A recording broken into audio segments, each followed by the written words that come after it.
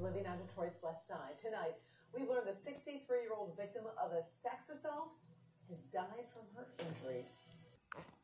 Hey, this is Fee about them facts. I am looking at this news article about a 63 year old lady who was assaulted and raped and died from her injuries. I'm a, I, beautiful woman. What is wrong with these people? Let's let's listen. It was an attack that horrified neighbors living on Detroit's west side. Tonight, we learned a 63 year old victim of a sex assault has died from her injuries. That woman was left for dead last month at an abandoned church. And now police and prosecutors are eyeing new charges in the case. Let's get to Shawn Ley. He's tonight with the update, Shawn. Kimberly.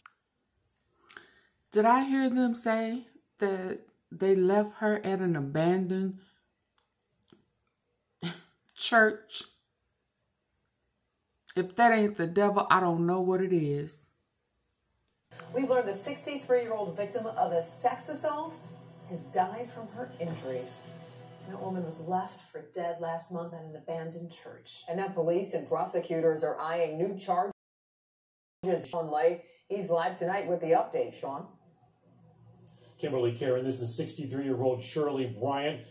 She is a grandmother, a great grandmother. She succumbed to her injuries in the hospital, just horrible injuries here. I just spoke to her brother moments ago. She, she fought and hung in there as long as she could.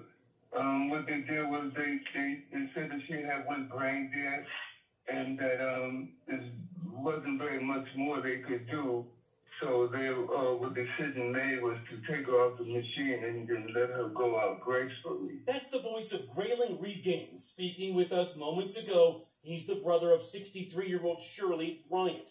Bryant was viciously attacked November 14th. Police say one man, 44 year old Elvin Shepard, beat the great grandmother while another man sexually assaulted her, both allegedly leaving her for dead outside of a vacant church on the west side.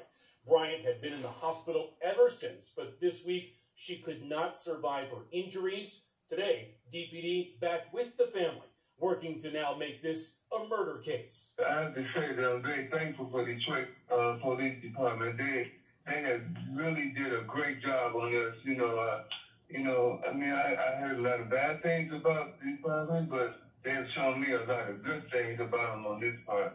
You know, they got out here, they protested, you know, they got on foot, you know, and, and they took a personal interest in this, which really touched my heart on that. You know, I was really grateful for them to do that.